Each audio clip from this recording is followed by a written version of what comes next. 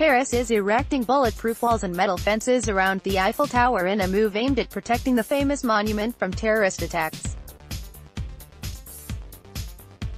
Glass walls measuring 6.5 centimeters thick and metal railings will replace temporary barriers placed around the tower in June 2016.